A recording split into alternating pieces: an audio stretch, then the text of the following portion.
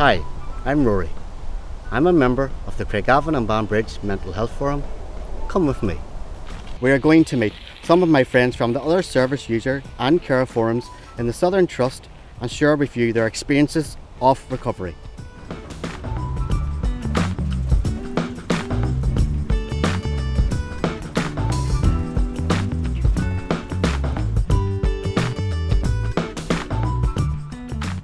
Caroline, how's you? All right, Rory. Doing well. How about you? I'm not too bad, Caroline. See, you took up cycling. I have indeed, Caroline, and it's been the stepping stone to my recovery. Same as the yoga with me. Right. The exercise is brilliant. When did your recovery begin?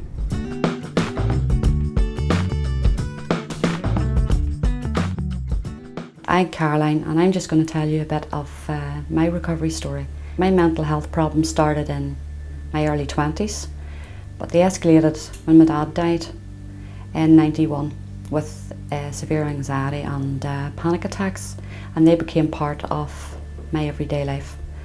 Uh, so much so that I had to leave my job of 11 years, and this was hard to deal with as well. I relied very heavily on my mum. I had a baby then. Problems escalated and mum became the child's mother really. The first few months, disaster struck for me, my mum died. I was left in a bit of a mess. But at the same time, it gave me an encouragement. I really had to pick myself up somehow or other and keep going for the child. And eventually I got persuaded to go to Action Mental Health and realised I wasn't on my own. It was an eye-opener. Um, so many people with mental health problems. At this time I, I joined the Craigavon and Banbridge forums and met a lot of new people there. This gave me the confidence uh, to go on and do numerous other courses, the highlight of which was going to Southern Regional College on my own at night and uh, I done my GCSE maths and passed it which was just absolutely brilliant for me at the time. I then considered a voluntary placement uh, with Adapt Eating Distress Association in 2010. To date I'm still there and still help them out and doing office work and out in schools talking to teenagers and this has given me a feeling of worthwhile doing something good. It gives me a buzz in my life and I think it's helped in the family and you know at home as well. Uh, the confidence is built and I think I'm happier as a person. I still have setbacks but it's nice to know that you know through the setbacks I know now there's there's light. I went back then to do a part-time counselling certificate. I got it and I took a big decision last year to go on and do my foundation degree in counselling. Just finished the first year of that and passed it and I got word I've got my placement for my second year with Care in Crisis in Lurgan and I'm delighted, absolutely delighted with that. So life has picked up. Anxiety and all comes back, back and forwards, but it's not managing me now. I might have dark days, but uh, you know, I, I get through it. I do workshops with uh, teenagers in uh, the secondary schools. They come out with some way out things and you just home it in on them and it's good fun. Retail therapy, uh, I enjoy it. And I can do it my own now. You know, I enjoy with company or I can go on my own, it's, it's nice. I have an 11 year old daughter and she likes the cinema. So we like to go there and just family holidays and things. I actually enjoy them now. My problems don't control me anymore. Uh, I can manage them most of the time. And that's my life and uh, that's my way forward.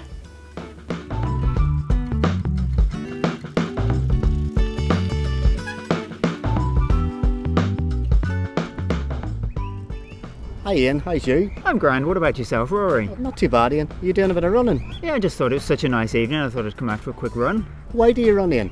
I like running, um, and I'm really quite good at it now. But it gives me a bit of space, gives me some time to myself. Do you find that running is part of your recovery? Oh yes, definitely. That sounds interesting. Can you tell me a little bit more about it?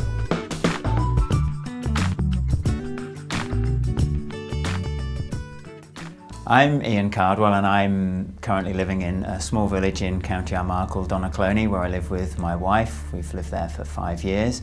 I've been um, caring for her now for the best part of the seven years since we moved over here. Um, she suffers with various forms of mental health problems, the main ones being depression and panic attacks. It took me um, a few years to sort of appreciate how poorly my wife was getting.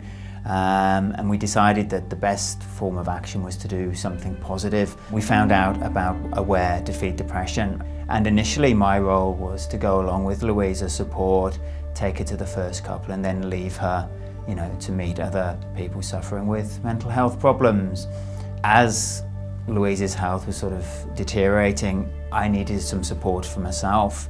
And it was through uh, the Aware group that I found out about a support group for carers called Cause. It was through going to Cause that I began to realise that it wasn't just about me and I shouldn't feel guilty the way Louise was feeling. It was more about making sure Louise was getting through the weekends. And as I was sort of putting all my energy into looking after Louise, I had to be more than just a carer. I had to be Ian the person.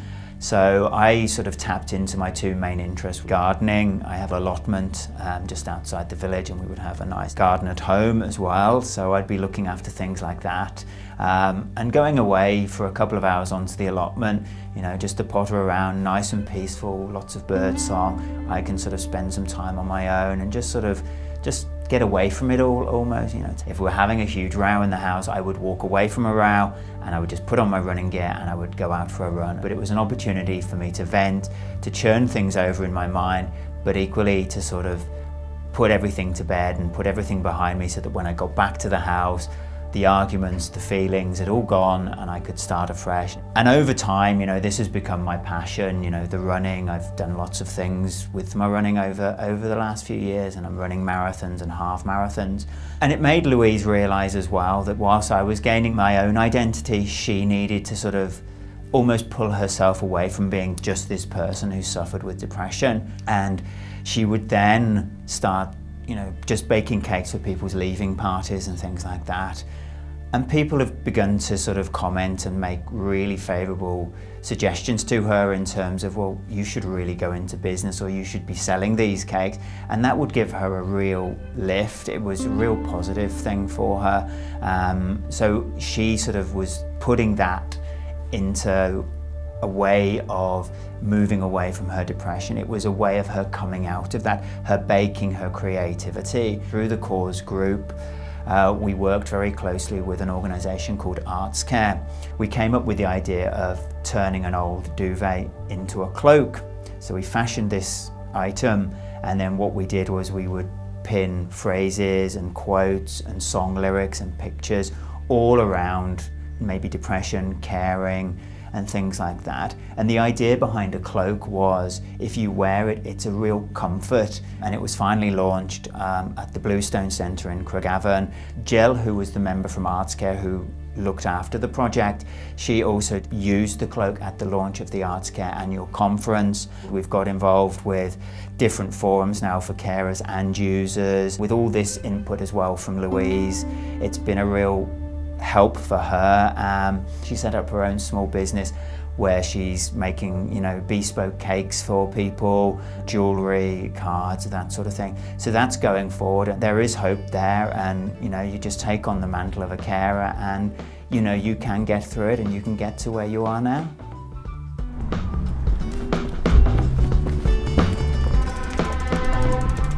Hello Alan, how's you? Hello Rory, nice to see you. Nice to see you too, Alan. I see you've got a little cardboard business going here. Up and running over a year now. I suppose this has helped with your recovery. It has indeed so much. And when did your recovery begin, Alan?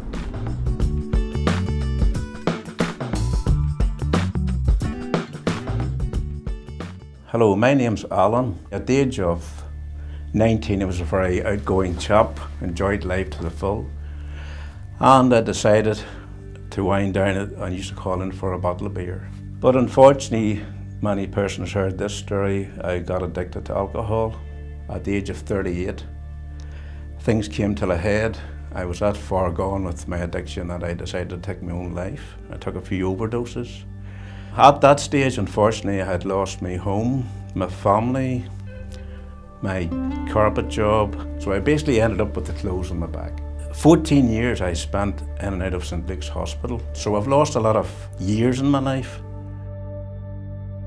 I was referred to Dungannon Beacon Centre, which I had that many phobias about my head, I didn't want to go anywhere basically. So as far as I'm concerned, the cycle was broke and basically I was going home and obviously I was seeing addiction counsellors taking things forward and my mum was starting to put a wee bit of a smile on her face, which was good. And, you know, I was getting positives at last. As my few years continued in Dungannon Beacon Centre, I came across a chap here. He says, Would you like to join Armagh Dungannon Mental Health Forum? So I went down to the forum and then I started to meet some new people. Then I was asked, Alan, would you like, there's another meeting you could go to if you wanted to, and it was called the User and Care Service Improvement Group. My most achievement out of that was I was voted in co-chair. Through all this peer advocacy and working with support and recovery and being in a care engagement group in Armagh, I went to Dungannon Beacon Centre and I thought about what they had done for me. I went to the manager here and I said, you know what I would love to do here? I would love to start a men's wellbeing group. And the manager looked at me and says, do you know something, Alan? That's what we would really would love. Saying I had maintained my advocate course and got my OCN, we call it the Men's Wellbeing Group. I have 12 male adults in the group. They can share about men's things, obviously, and we have planned trips away. We have went to bowling, we have went to archery. I never thought I'd ever be back in the carpet business again, but I must admit it's a great experience to be back. I have a wee business now up and running over a year in Dungannon Enterprise Centre. Motivation is great. It's great to be back it's something that I never thought I would achieve, and I really loved my work. And the reason I really love my work, I'm more in control of my life, and the money I'm now making, I'm not going to the bar stool anymore to spend it. I've got all my family back, I've got my kids back speaking to me. Every day is a different challenge. I'm not strong one day at a time. That's the way you take life. I know all one about the different pressures of this and that, but I'm so happy, I'm coping well, and I know my coping skills, and just life is good, and it's great to be back.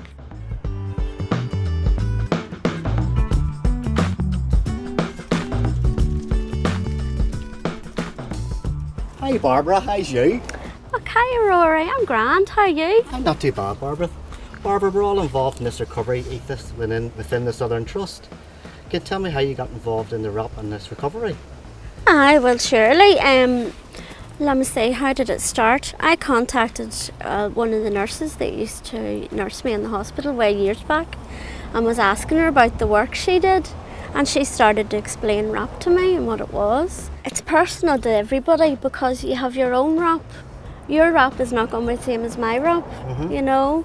And a really great part of it that I enjoyed immensely was this here, actually making up a toolbox. Right, yeah a wellness toolbox and basically this is things that if I'm not feeling too well, Rory, I can go back to and I could say, well, you know, what'll make me feel a wee bit better or what do I need to do on a daily basis that'll make me feel okay. And you know, without a doubt, I would say one of the major things is uh, the medication you know, because if I don't take this every day, I'm not going to start off from a wellness point anyway. And then I don't know. I'm sure I've told you before about me having cats That's and a right, wee puppy. You have told me before. Yeah. Yeah. Mm-hmm. Well, you see them. They are just my one constant reason to get up in the morning, to get moving, to try. Do you know what I mean? To have yeah. a wee bit of. It even builds your self confidence just a bit. You know that that I'm able to take care of them and then it's just very simple things, you know, and, and people probably don't give this a thought. But you see, when I'm ill, um, I'd be so fatigued that even getting up to wash is like an uphill battle. So I have this wee sponge duck, and that reminds me that I have to get up every day and wash and see to my um, personal hygiene. Very simple things like that. And another, you know, massive massive part of my life and support is my friends and this is my way uh, address book you know, with all my friends' numbers and such. You know, I, I just don't know how I would survive without my friends. They're so good, you know. Like my wee pup, don't know if I ever showed you a photograph of her, um, but she needs to be taken out. Yeah. You know, she goes, and this is what the wee collar's about, Mhm. and that represents taking her out three times a day Yeah. for a walk, you know. And a big, massive escape for me all my life was reading books. Absolutely love reading. I can escape, and um, actually, it's hard to believe, but since I've been thir- I was thirteen, I would read five books a week. You know, religiously, would just read them, and um, you know, it's things like that. And then, of course, if I'm in real dire straits, I love to go and buy something, even if it's only online. so I'll go and I'll buy a wee outfit for Millie, the pup. or whatever, or buy another book, or download a book into the Kindle, something like that. And um, it's all these wee things that are personal to me, but at times when I'm not so good or not feeling really good, you know, they're, they're a comfort.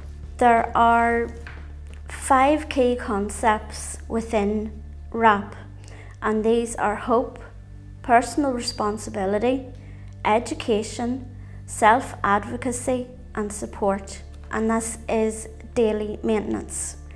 And what daily maintenance does is looks at what am I like when I'm well, things that I need to do every day to keep myself well, and any optional extras.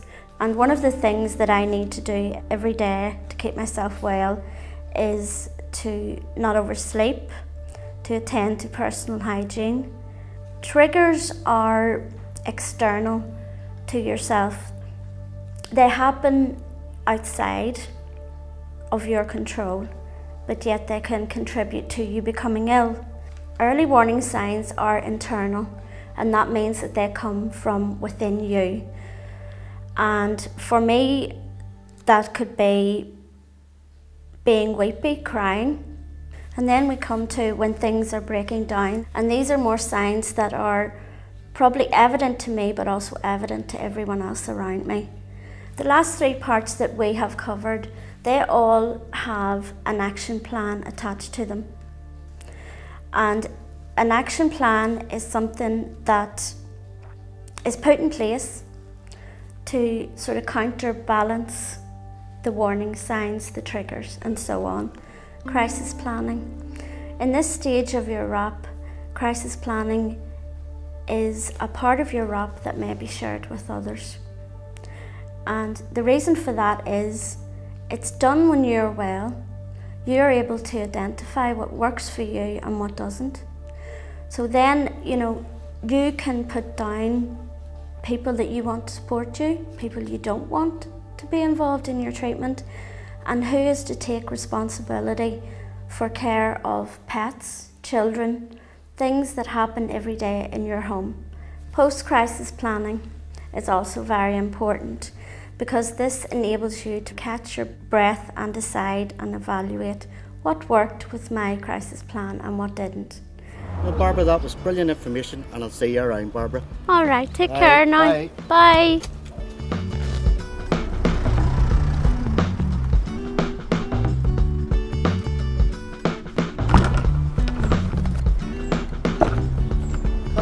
How's you? Hello, Rory. How are you? Are you heading for a game of golf? I am indeed. Yes. Good for you.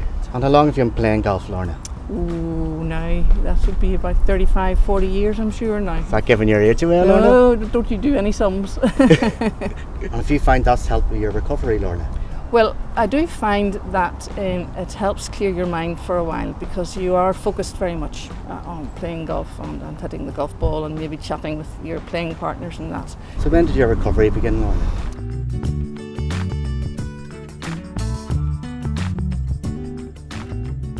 Well, hello. Um, my name is Lorna Stewart, and um, first of all, I would say I'm a wife, a mother, and um, a hard worker. Now, in my life, uh, my family is important, and in fact, I believe this is where my problems began. Uh, in that, uh, during my uh, sec- second pregnancy, um, I became extremely ill, uh, so much so I admitted to hospital for a long time. At that time, I, I could feel myself um, dipping down, but had no realization uh, of how far I was going to dip after the baby was born. I had suicidal thoughts. I needed uh, expert assessment. In fact, I was admitted to the psychiatric hospital that evening. However, my new baby, Gordon, he stayed behind in the maternity hospital. Uh, understandably, I was quite distressed um, and for all sorts of reasons. Things gradually improved, a lot of medication was tried. Um, eventually, it was decided I may benefit from electroconvulsive therapy. In my um, estimation, that was the, the, the, time of greatest change that I something lifted. 2007, uh, I was diagnosed with breast cancer. Initially, um, obviously big shock. I went off for my first chemotherapy session and my mood went down and just couldn't cope. I had a, a, daily visit from some people who tried to encourage me that we, we will get you better. With the passage of time and with my attendance at my local Beacon Centre, I started to feel better within myself. I gained some confidence. I am well recovered. I am enjoying my golf. I am enjoying my family and um, the new friends now that I have met through the Mental Health Forum. I suppose another part of my involvement uh, with uh, mental health has been actually attending a training course on peer advocacy which was held in my local Beacon Centre. I went along to the uh, Service User uh, Care Improvement Group, not really uh, knowing what it entailed at the time. However, as well as um, um, acquiring a lot of knowledge about mental health issues and uh, how we work with our trust. Uh, we decided as a group to um, enter uh, a competition and it was entitled actually Making a Difference and it was to highlight uh, the way that service users and carers can be more active in altering, changing mental health services for the better. And um, little did I know that um, a few of us out of the group were selected to go along uh, for a face-to-face interview. And uh, in fact, after that interview, we discovered that we had won our part of the competition. The, the winning uh, award was to be presented in the Slieve Donard Hotel in Newcastle. We got to meet chief executives and other uh, directors. We even got a bouquet of flowers and a box of chocolates. And uh, really it was good to meet people who did seem uh, interested in what we had been doing. There was an award this time put forward by our Health Trust, our Southern Health Trust, and they were called Excellence Awards. And uh, we decided again that we would present um, a, a, little report uh, on how we felt the service was uh, improving. The group has managed to attain uh, second place in the partnership category. We all have to push ourselves forward, particularly if we want to make changes. My experience of my mental health problem is that I do live uh, day by day. I take small steps. I increase my uh, responsibilities. In fact, at, at the minute I'm responsible for uh, a group of young girls and, and mentoring them um, about learning how to play golf, teaching them the rules, showing them a few basic strokes. Life is really good and can be good if, if you go for it, just go for it and enjoy yourself.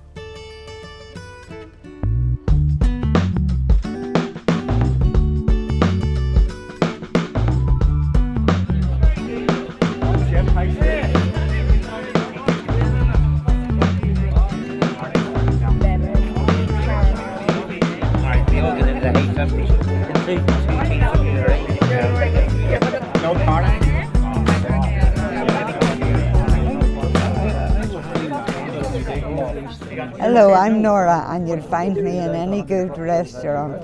Hi, my name's Maria, and I like walking to keep fit. Hello, I'm Doug. I'm into motorbikes. The motorbikes keep me well. Go to the motorbike racing. I ride a Honda CB 750, 20 year old, and that's what keeps me well. I'm Lawrence, and I run marathons and I raise money for charity and uh, I do walking and I find that it helps mental health. Hi, I'm Patricia and I enjoy my grandchildren coming round and I also enjoy going to the forum Hello, my name's Stephen and I like to travel a lot. I've been on a Mediterranean cruise this summer and this helps me uh, feel better about myself. Hello, my name's Wendy and I like to swim in my local leisure centre. I also know that swimming is also really good for my physical health, so that helps too.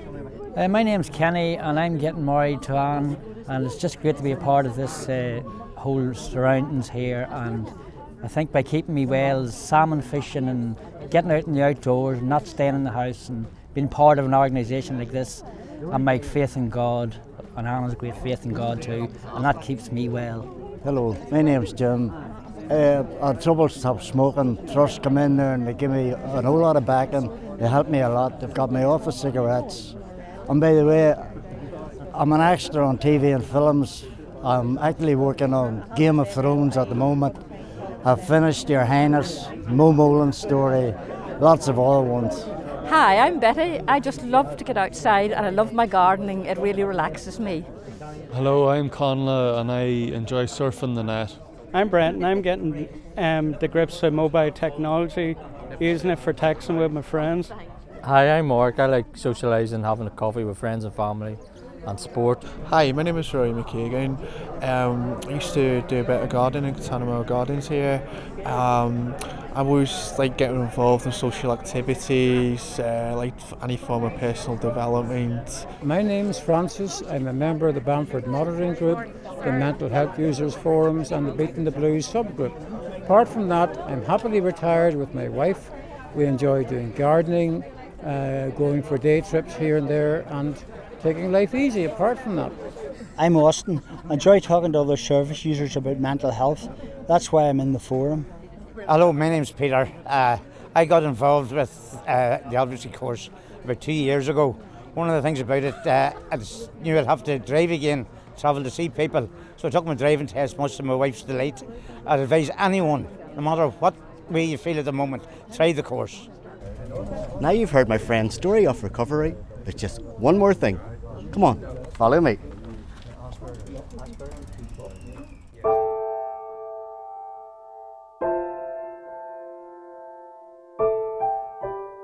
Well, you've heard from a few of my friends in the mental health fora and got an idea of recovery. But maybe I should tell you about my recovery journey. I have had my own mental health difficulties going back 20 years. I have been in hospital and in and out of employment.